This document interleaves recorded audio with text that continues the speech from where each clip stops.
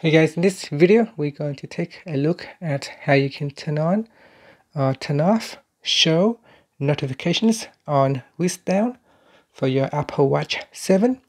So first let's go back to your clock face by pressing on the digital crown on the side here and then press on it again to go into your app screen.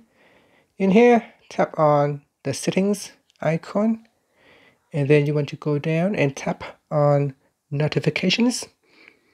In here go down and tap on show notifications on wrist down so tap on that.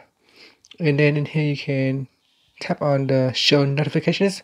Toggle button to turn it on or switch it off. Once you have turned it on it said that you can choose which notifications are visible when your wrist is down. So you can go down the list here in the uh, Apple Watch apps and select which apps to turn on or turn off.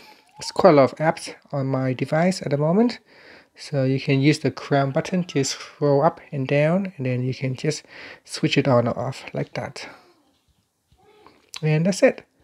Now you can tap on the back key at the top, on the back button at the top here to go back to your settings. Uh, you can press on the crown button to go back to your app screen, then press on it again to go back to your clock face. And that's it. Thank you for watching this video. Please subscribe to my channel for more videos.